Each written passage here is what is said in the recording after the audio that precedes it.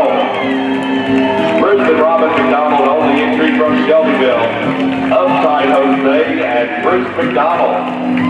Our elite honor amateur is Sullivan Spares and Kelly's winner. There's Uptight Jose. Bruce McDonald rides down victory lane towards the entry owned by Bruce and Robin McDonald of Shelbyville. Uptight Jose and Bruce McDonald. Congratulations.